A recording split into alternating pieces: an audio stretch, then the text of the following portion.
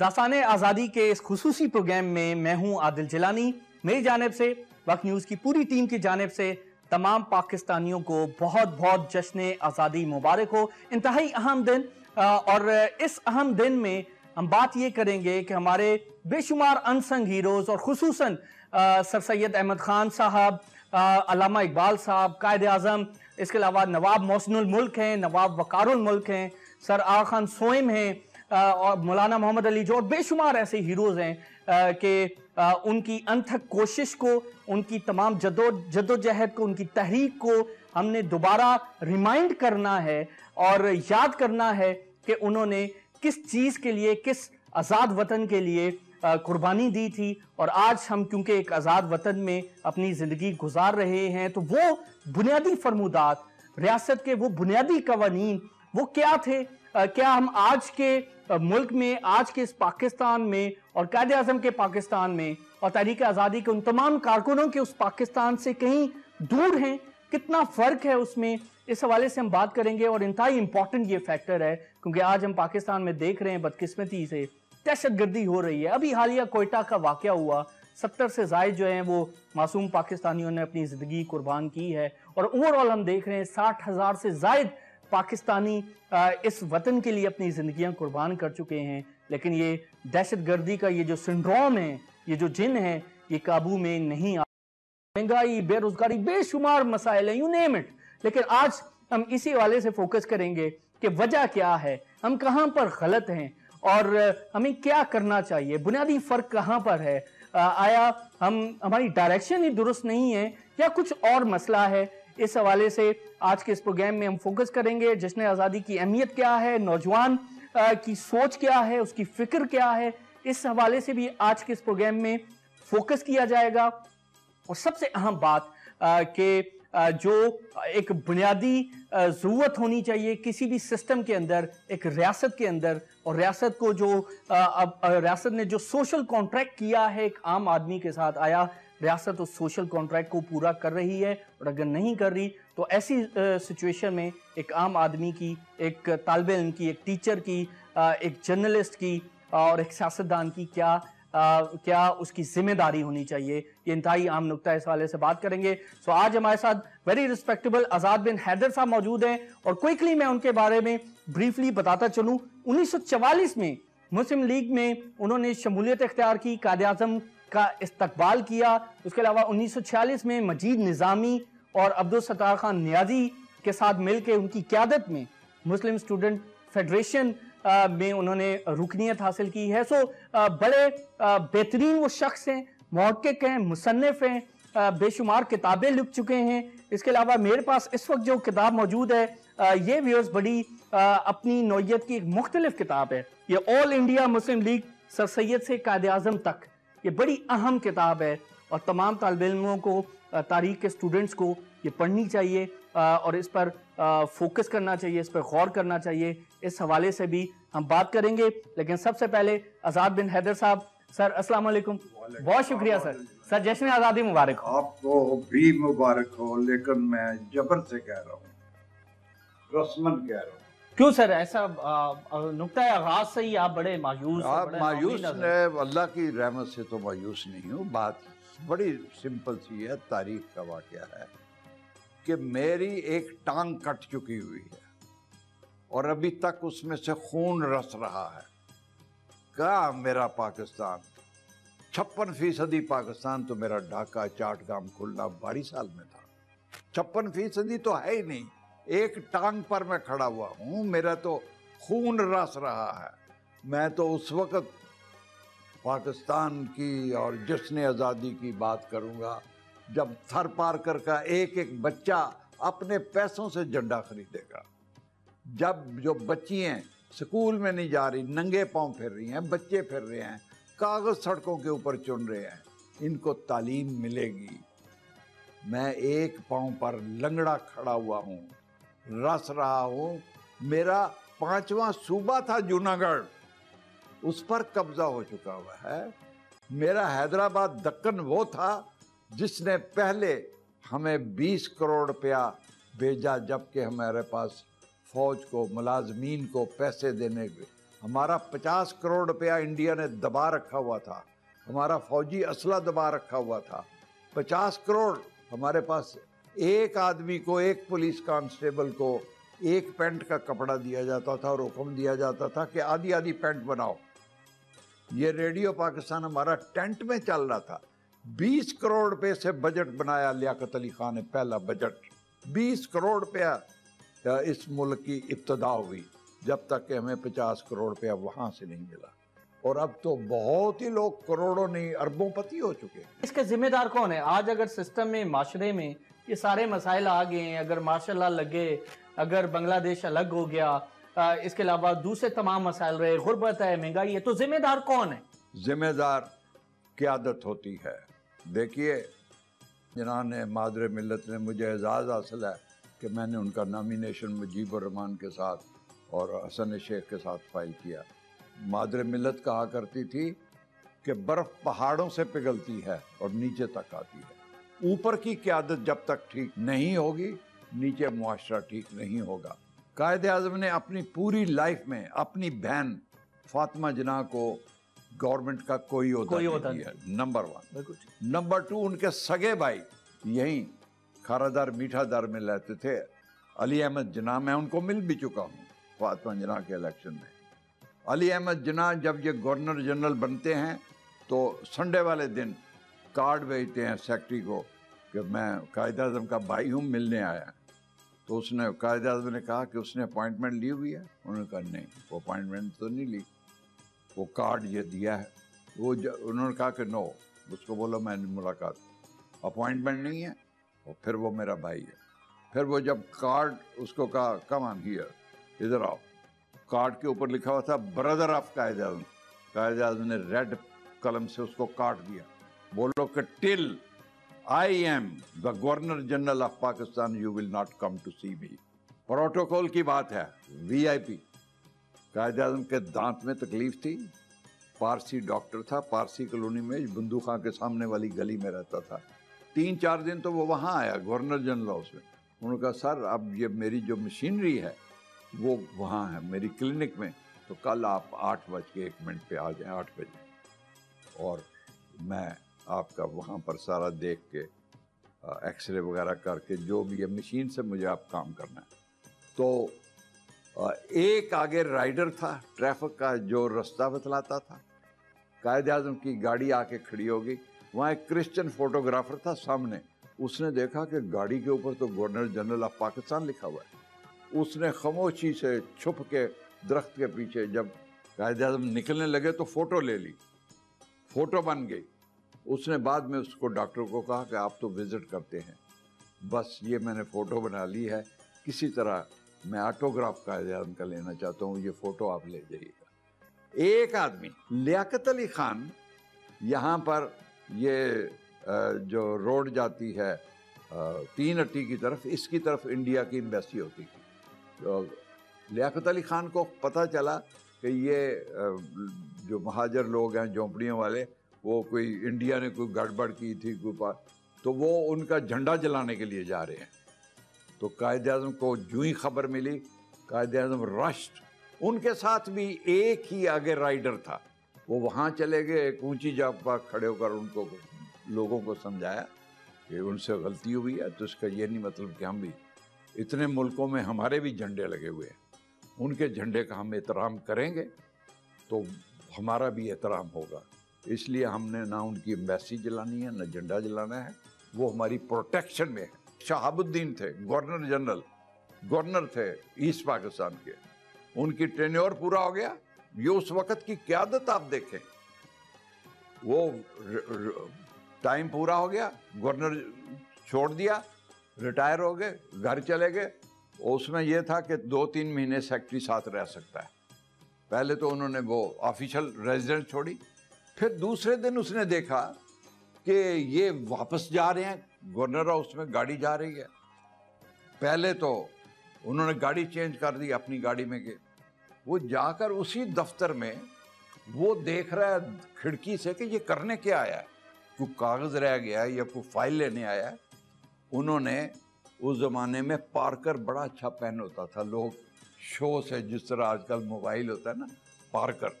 वो पार्कर में स्याही थी। वो स्याही निचोड़कर बोतल में डाल रहे थे कि ये जो स्याही है ये गवर्नमेंट की है इसको मैं इस्तेमाल नहीं कर सकता। ऐसा कोई ला सकते हैं आप? करेक्टर किरदार कोई लाए। सर आपने बड़ी बड़ी शानदार मिसालें दी और आ, हिस्ट्री को ब्रीफली आपने बताया हमारे लिए हमारे तमाम व्यूअर्स के लिए कि जो बेहतर तौर पर अंडरस्टैंड कर सकें कि लीडरशिप का किरदार क्या है। आज की जो अवाम है, वो अपने लीडरों पर, अपने हुक्मरानों पर ट्रस्ट नहीं करती। लियाकत अली खान साहब की आपने बात की, हमारे वज़ीर आज़म, जितने भी वज़ीर आज़म है, वो पैसा पाए रखते हैं। मुल्क से उनका सरोकार नहीं है। तो ये इतना बड़ा गैप कैसे आ गया कि लियाकत अली खान का करेक्टर देख लें कैद आज़म का करेक्टर देख लें, आज नवाज़ शरीफ साहब का करेक्टर देख लें, जरदारी साहब हैं, दूसरे तमाम लीडर्स हैं। तो इतना बड़ा गैप क्यों है? फ़र्क क्यों है? बात यह है कि एक तो ब्यूरोक्रेसी ने और आप इनकी तारीख देखें, जिनको हम वडेरे कहते हैं, या चौधरी कहते हैं, या जिमीदार कहते हैं, इनके ऊपर बकायदा किताबें लिखी हुई है कि इनके दादा को अंग्रेज़ों ने कितनी ज़मीनें दी थी, सरदारों को कितना कुछ दिया। इनको करप्ट किया गया है।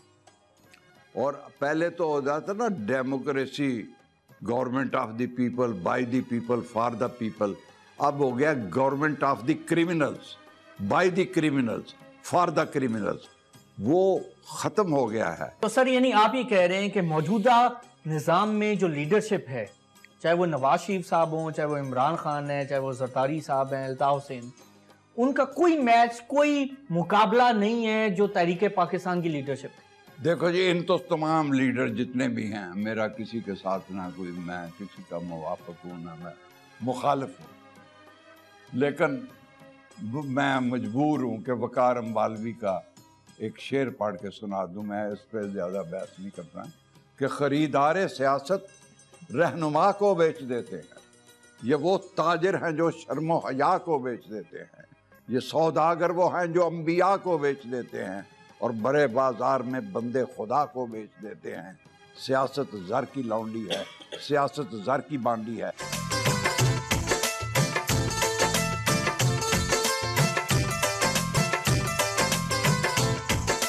आज जश्न आज़ादी है। आज के दिन की मुनासबत से हम रिव्यू करते हैं तरीके पाकिस्तान को, अपने तमाम बुज़ुर्गों को, उनके किरदार को, उनकी लीडरशिप को, उनके विजन को। उनके डिसिप्लिन को। और तो आज फिर मसला कहाँ है सर?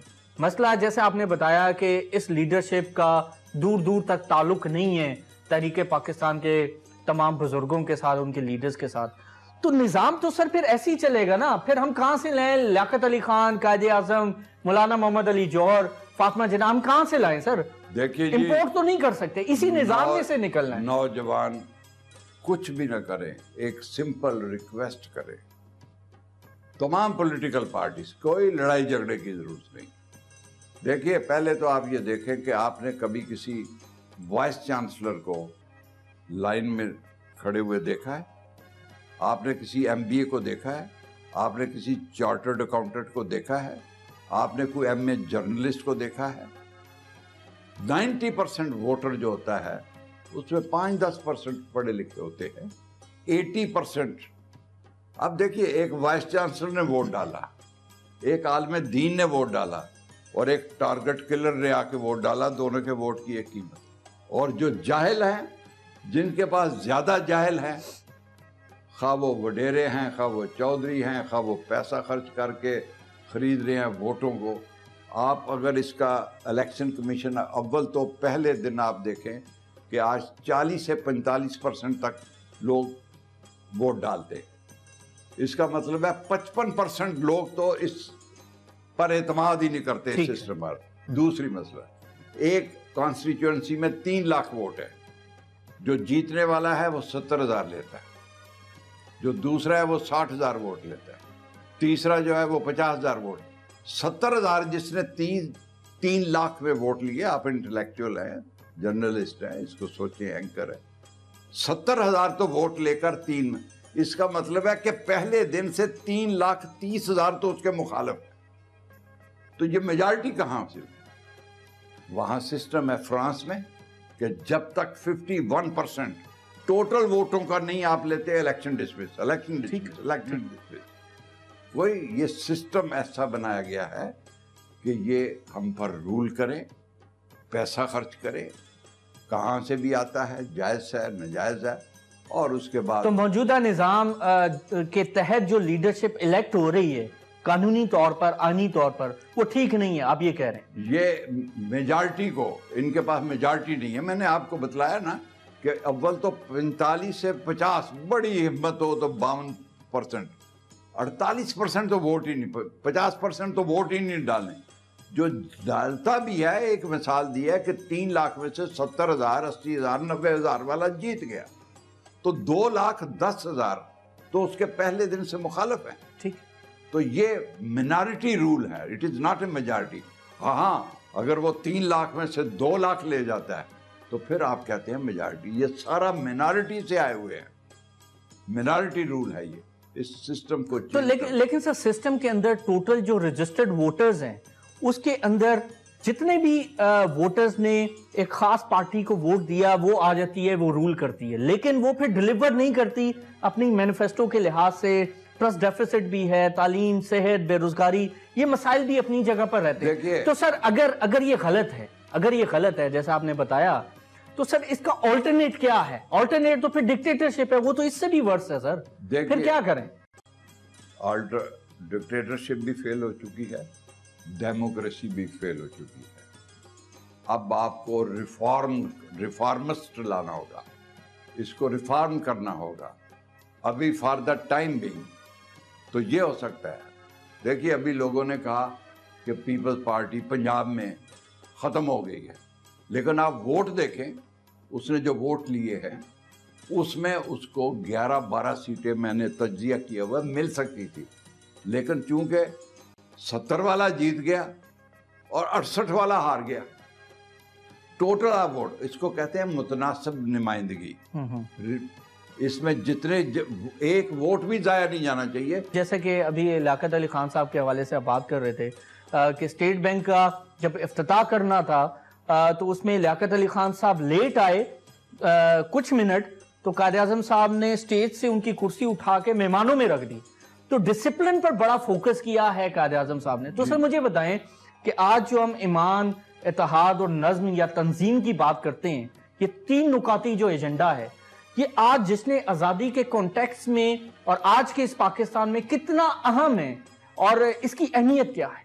देखिए पहले तो फेडरल गवर्नमेंट एक नोटिफिकेशन निकाल चुकी हुई है कि फेथ पहले आएगा।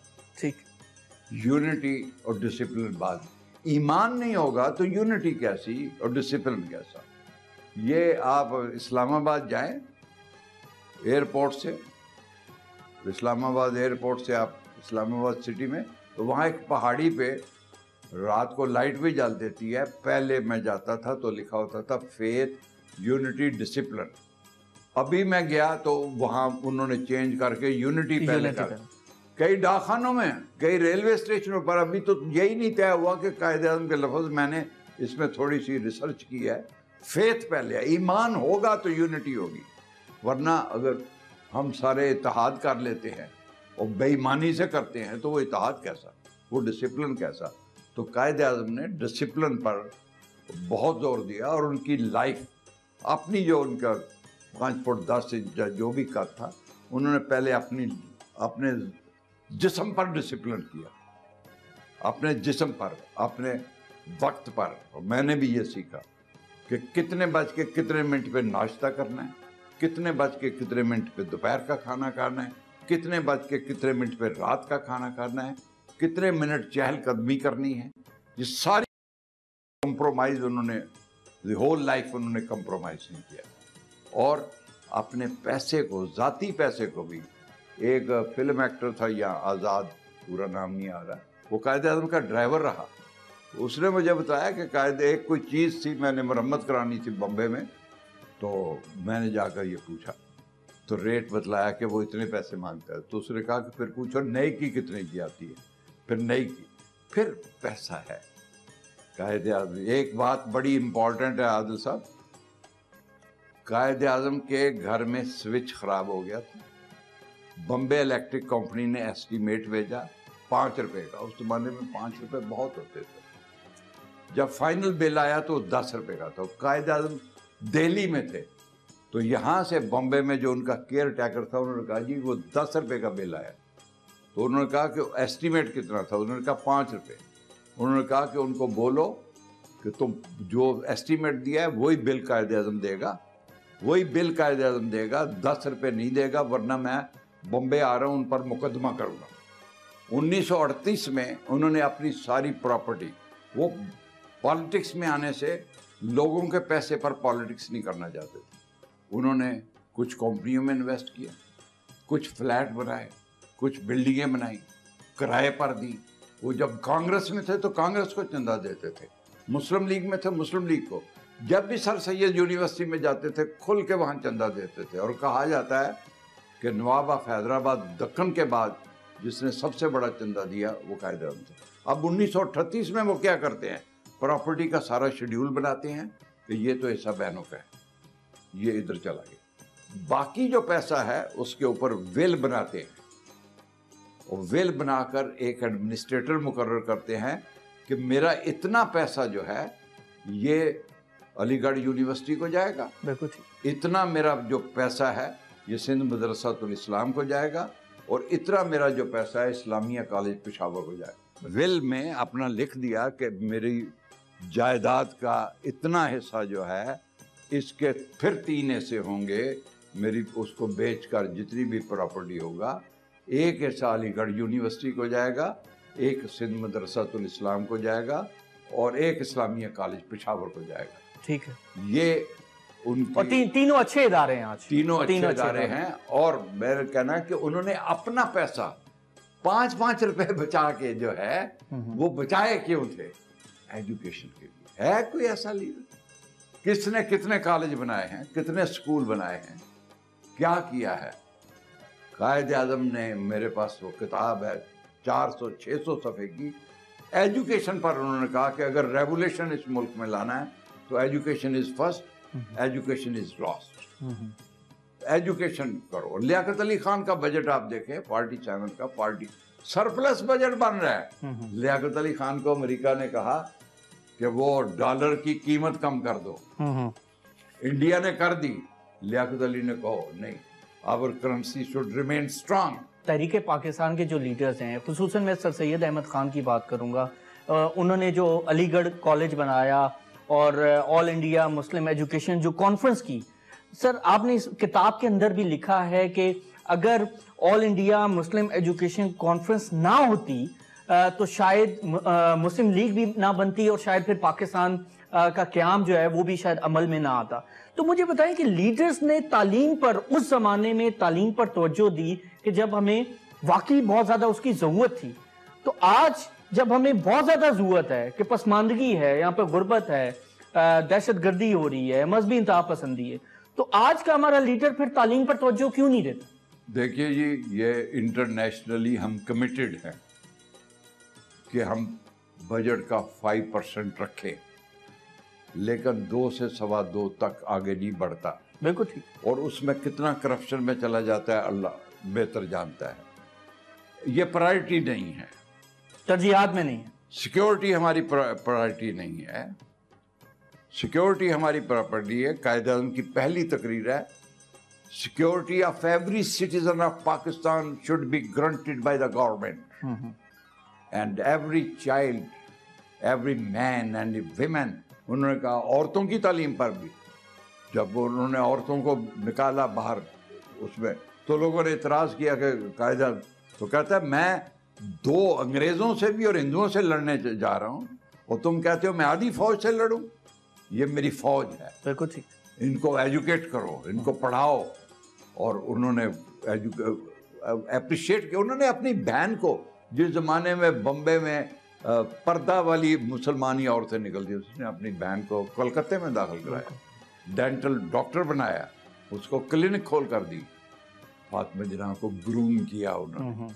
और बड़ा कलीदी किरदार रहा उनका तरीका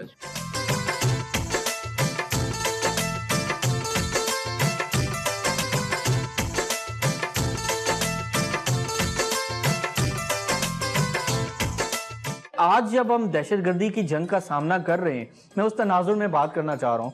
तो आप आप फरमा रहे हैं कि हमारे लीडर्स की तरजीहात में नहीं है तालीम। तो अगर तरजीहात में तालीम नहीं है तो सर आम बंदा फिर क्या करे? वो उस पर हम फिर ब्लेम कर सकते हैं, उस पर क्रिटिसाइज कर सकते हैं। कि जी ये कौम ही निकम्मी है, ये कौम कुछ नहीं कर सकती। ये जो कायद अजम का पाकिस्तान है, वो दूर रह गया, कौम इकट्ठी नहीं है, सिंधी, पंजाबी, पठान महाजर में बटी हुई है। तो कौम का तो कसूर नहीं है ना, सर? फिर जो लीडर्स ने जो कौम बनानी थी, जो रियासत ने बेहतर तौर पर बुनियादी काम करने थे, सेहत, पानी, तालीम सिक्योरिटी वो तो नहीं किए तो सर, आम बंदे का क्या कसूर? देखिए असलिया असले से पैसे से एटम बम से बात हुई बनती कौम बनाने की ज़रूरत है। ये वियतनाम के पास एटम बम था। उसने गवारा कर लिया कि मेरे पाँच लाख फौजी मर जाएँगे। हम अमेरिका से कंप्रोमाइज नहीं करेंगे। बिल्कुल अमेरिका के हज़ारों फौजी आते रहे वो भी मरते रहे। जब घर घर लाशें न्यूयॉर्क में वाशिंगटन में पहुंचनी शुरू हुई तो पूरा अमेरिका खड़ा हो गया। तो तब जाकर सदर ने ऑर्डर किया कि अब कंप्रोमाइज करो। एटम बम नहीं वो कौम थी? यहाँ आपने कौमी जज्बे अब पार्टियाँ अपने साइज़ के मुताबिक उन्होंने ये बना लिया। वो इतना बड़ा पाकिस्तान नहीं चला सकते थे ना। उन्होंने कहा हम अपना छोटा सा वो छप्पन फ़ीसद जाता है तो जन्नत में जाए।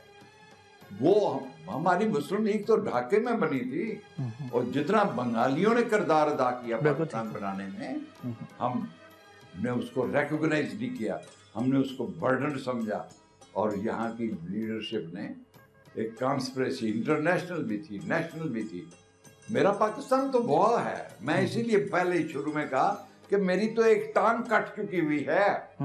मैं तो उसमें खून आज तक रस रहा है सत्तर से आज तक बहत्तर से। मैं कैसे कहूँ कि पाकिस्तान और जश्न आज़ादी और मेरे तो 200-300 बच्चे तीन चार महीने में तो सर थर पारकर में मर गए तो सर एज एज कारकुन तहरीके पाकिस्तान आपने बड़ा बड़ा अहम किरदार अदा किया। अभी भी माशाल्लाह कर रहे हैं मौके हैं आप किताबें लिखते हैं। तो सर, आपके लिए आज जश्न आज़ादी मनाना अहम नहीं है। मैं मैं बिल जबर मैं बिल जबर। इसलिए कि मैं अपने बच्चों को ये तसर नहीं देना चाहता कि हम ये ना मनाएँ। जैसा भी है, अपना है, दुआ है, अल्लाह करेगा। शायद कभी ठीक हो जाए, शायद कोई इस मुल्क में, इस मुल्क में किसी चीज़ की कमी नहीं है। यकीन जानिए कोई कमी नहीं है। हमारे यहाँ टैलेंट नौ दस साल की अरफा करीम इंजीनियर बन जाती है। बिल्कुल। टैलेंट अभी एक बच्चे ने मोटरसाइकिल बनाई है सूरज की रोशनी से उसने चलाना शुरू उसको कोई अप्रिशिएट नहीं करेगा। टैलेंट बहुत है। हमारे यहाँ तो ब्रेन ड्रेन हो रहा है। अच्छा डॉक्टर बाहर। अच्छा बिजनेसमैन दुबई में इन्वेस्ट कर रहा है। अच्छे लोग डॉक्टर हों इंजीनियर हों कोशिश करते हैं कि हम निकल जाएँ हमें पता नहीं है जाते हुए हम टारगेट किलिंग में मारे जाएँ। ये सिर्फ़ कराची की बात नहीं है अब तो ये फैलते फैलते ये नासूर और ये कैंसर पूरे मुल्क में फैल गया हुआ है। हम्म। ये सिर्फ़ अब कराची की बात नहीं रही। अभी आप देखें कि वहाँ पर एक शहर के अंदर वो एक छोटा सा यूनिट था डाकुओं का। तेरह जिलों की पुलिस आई है। वो पुलिस नहीं वो कर सकी। और फिर आर्मी आर्मी आए। भाई बारिश हो जाए सैलाब आ जाए आर्मी को बुलाओ। मरदमशुमारी करानी है आर्मी को बुलाओ। इलेक्शन कराना है आर्मी को बुलाओ। भाई आप और फिर मीटर चेक करने हैं कराची के। मीटर चेक करने हैं तो आर्मी के पास मरदमशुमारी में हम फौज को बुलाते हैं। लेकिन सर अब मुझे बताएँ कि मैं कोई मायूसी की पिक्चर नहीं खींचना चाहता लेकिन हमें उम्मीद भी देनी है अपने नौजवानों को। आज जश्न आज़ादी के दिन खसूस तो सर यहाँ वसाइल हैं यहाँ बहुत बड़ा रेगिस्तान है 200 अरब टन के कोयले के ज़खायर हैं सेंडक में आप देख लें बलोचिस्तान के अंदर गोल्ड के ज़खायर हैं पानी है या मौसम है चौदह घंटे की एवरेज सूरज की रोशनी है उससे बिजली पैदा हो सकती है। बे, बेशुमार वसाइल हैं हमारे पास। और अभी भी बजट के अंदर अरबों डॉलर का हम बजट जो है वो मुख्त करते हैं। मसला तरजीहत का है। अगर बेहतर तौर पर प्रायोरिटीज हम दें, सेहत को, तालीम को सिक्योरिटी को तो चीज़ें बेहतर हो सकती हैं। तो अब सर, मुझे बताएँ, नुकता आगाज़ फिर कैसे होगा? कौम बन नहीं रही? कौम इसलिए नहीं बन रही कि सियासतदानों ने अपनी अपनी टोलियाँ बनाई हुई हैं और वो, उन्होंने अजारादारी बनाई हुई है? आपने बताया कि यहाँ डेमोक्रेटिक सिस्टम भी ठीक नहीं है। जो मेजॉरिटी है, वो वोट नहीं डालती। माइनॉरिटी वोट डालती है और उसकी बुनियाद पे इलेक्शन हो जाते हैं। यहाँ पर रियाती इदारों की भी हमें इजारादारी नज़र आती है। फिर यहाँ पर आम बंदे की सिक्योरिटी नहीं है। सेहत, तालीम, तमाम मसाइल अपनी जगह पे। तो आम बंदा सर फिर किसकी तरफ़ देखे? वो लीडरशिप की तरफ़ देखता है, वो पैसा बाहर रखता है, उसके मफादात बाहर हैं। तो आम बंदा फिर क्या करे, सर? आम बंदे के लिए तो यही बात है। पहली तो बात है, ये वीआईपी कल्चर जो क्यों है? ये वीआईपी कल्चर एक तो वैसे शोबाजी के लिए लेकिन एक ज़रूरत भी है। मुझे कोई भी, किसी भी पार्टी का एक एम एन ए बतला दें या एक मिनिस्टर कि जो कायद अजम के मज़ार के सामने, आपके दफ्तर के सामने सुबह 11 बजे से शाम 5 बजे तक अकेला खड़ा रहे। क्योंकि उसके खिलाफ आठ पार्टियाँ हैं और वो इसलिए नहीं वहाँ खड़ा होता नवाए वक्त के दफ्तर, कायद अजम के दफ्तर और कायद अजम के उसके सामने, कि उसके खिलाफ आठ पार्टियाँ हैं। यहाँ पर एक यूनिट नहीं आप बन सका। इसलिए पहले कौम बनाओ, फिर बाकी सब कुछ बनेगा। कौम तब बनेगी जब कौम के आप मसाइल हल करेंगे। कौम के वसाइल कौम के ऊपर इस्तेमाल करेंगे। अब बजट का 60 परसेंट तो हम आईएमएफ को दे रहे हैं। सूद उसको देने के लिए भी उससे कर्जे ले रहे हैं। हमारा आर्मी का बजट दिन ब दिन कम होता जा रहा है। ये नेशनल एक्शन प्लान क्यों नहीं आगे बढ़ रहा? देखिए, एक साल से लोग वहाँ पर फाटा में और स्वात के इर्द गिर्द वहाँ पर टेंटों में पड़े हुए हैं। पैसा नहीं दिया जा रहा उनको शिफ्ट करना है। ऑपरेशन हो चुका है। वो अपने घरों में जाएँ, उनके स्कूल बनाएँ, उनके अस्पताल बनाएँ, उनको सब कुछ। जब आपको फैसिलिटीज़ मिलेंगी, लोग पाकिस्तान से तब मोहब्बत करेंगे जब उनको सिक्योरिटी होगी ठीक है। फैसिलिटीज़ होगी पाकिस्तान से मोहब्बत। तो सर सियासी जमातें वफाकी और सूबाई हुकूमतें खसूसन जो पावर में हैं वो अगर कंसेंसस कर लें पाकिस्तान के बुनियादी मसाइल पे कि जी यहाँ पर डैम बनाने हैं यहाँ पर हमने बंद पक्के करने हैं हर साल सैलाब से तबाही मचती है बिजली का बहरान है दहशत गर्दी की जंग है उसके हवाले से हमने बेहतर तौर पर इदारे बनाने हैं पुलिस का निज़ाम है क्रिमिनल जस्टिस सिस्टम है। तो सर अगर इतफाक़ राय आज सूबाई और वफाकी हुकूमतें और दूसरी मजहबी सियासी जमातें कर लेती हैं। यही एक वे फॉरवर्ड हो सकता है। देखिए नेशनल एक्शन प्लान में एक क्लास ये भी है दो साल हो गए हैं एक मीटिंग नहीं हुई कि हम क्रिमिनल जस्टिस सिस्टम को ठीक करेंगे। एक मीटिंग नहीं हुई और भी नौ दस और भी शर्तें हैं उसके ऊपर नहीं हुई।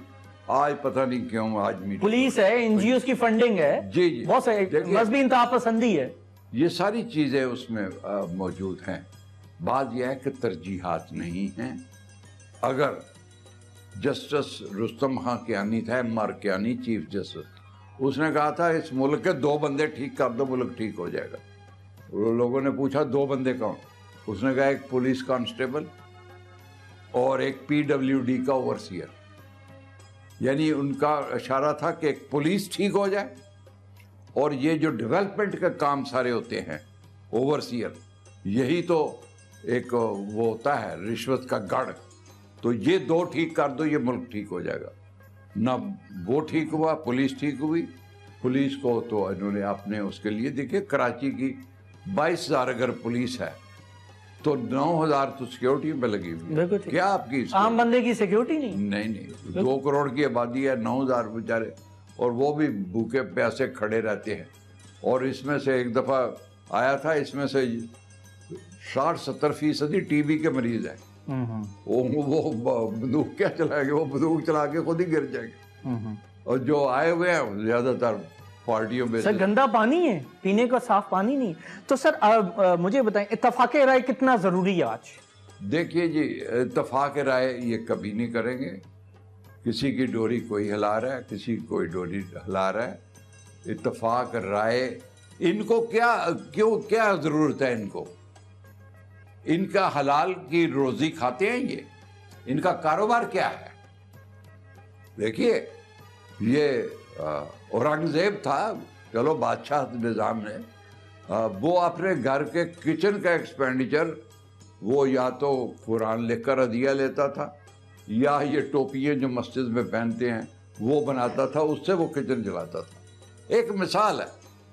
पहले तो ये देखना है कि इनकी हलाल की कमाई क्या है और ब्लैक की कमाई क्या है और बाहर की फंडिंग क्या तो सर ये कौन तय सर अगेन बुनियादी सवाल ये कौन तय करेगा कि किसकी कमाई हलाल की है ये किसकी कमाई हराम की है? कोई इदारा तो करेगा ना सर? देखिए कौन करेगा? बात यह है कि मैंने एंटी करप्शन के सैकड़ों केस डील किए। एंटी करप्शन के ऊपर एफआईए आ जाती है। एफआईए के ऊपर नैब आ जाती है। आप आप किसको पाँच करोड़ पे आप टेबल पे रख देंगे? एक एस एच ओ को, एक सुपरिटेंडेंट एफ़ आई ए को, वो उसको बुरा लगेगा। करप्शन है, ये इस तरह ख़त्म नहीं होगी और ये फौज भी नहीं कर सकती और ये भी नहीं करेगा, ये एक मूवमेंट ही करेगी। एक मूवमेंट करेगा। एक तहरीक चलेगी उसी तरह की तहरीक। उनका एक मिशन हो पाकिस्तान बनाना था अब पाकिस्तान बचाना है। पाकिस्तान बचाने के लिए पाकिस्तान बचाने की तहरीक चलनी चाहिए। सर फाइनल फाइनल मैसेज हम क्या हम हमें हमारे व्यूअर्स क्या अच्छा मैसेज क्या अच्छी उम्मीद आज लेकर जाएँ?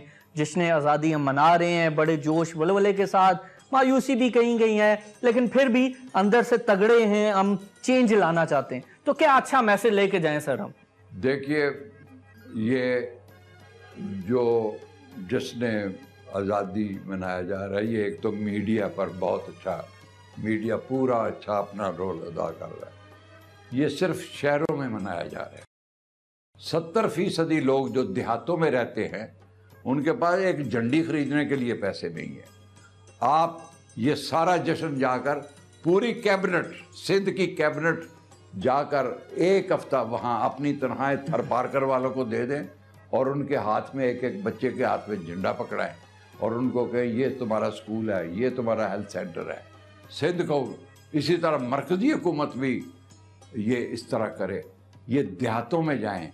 उनको फ़ूड उनको खाना, उनको स्कूल उनको एजुकेशन ये इतना पैसा जो खर्च कर रहे हैं ये वहाँ जाकर ठीक है। उनको भी करें। ठीक है। वो भी हमारी कौम है। असल पाकिस्तान असल पाकिस्तान वो। आज़ाद हैदर साहब बहुत शुक्रिया सर। आपकी एक टीम फिर जश्न आज़ादी मुबारक हो। आप बहुत शुक्रिया। Thank you. Under protest viewers आज के दिन हमने कोशिश की कि पाकिस्तान के जो बुनियादी मसाइल हैं उनको हाईलाइट करें लेकिन उसके साथ साथ जो हकीकी पिक्चर है आज़ाद बिन हैदर साहब ने, उसको भी हाईलाइट किया और उन्होंने बतौर प्रोटेस्ट भी अपना एहतजाज जो है वो रिकॉर्ड कराया है हमारे प्रोग्राम में। क्योंकि अफसरदा हैं, क्योंकि मायूसी भी हमें नज़र आती है कि जो कायद का पाकिस्तान था, वो कहीं भूल भुलैयों में खो सा गया है तो हमें उसको दोबारा जो है वो ज़िंदा करने की ज़रूरत है। वो तभी होगा कि जब रियासत, सियासी जमातें और हमारा जो निज़ाम है, वो दोबारा अपने पाँव पर खड़ा होगा। और आज हमें शायद ज़्यादा मुतहद होने की ज़रूरत है, जहाँ एक दहशत गर्दी है, जहाँ तमाम मसाइल हैं, गुरबत, महँगाई, बेरोज़गारी। एक बार फिर मेरी तरफ़ से, मेरी टीम की तरफ़ से, वक्त न्यूज़ की तरफ़ से बहुत बहुत जिसने आज़ादी मुबारक हो पाकिस्तान जिंदाबाद।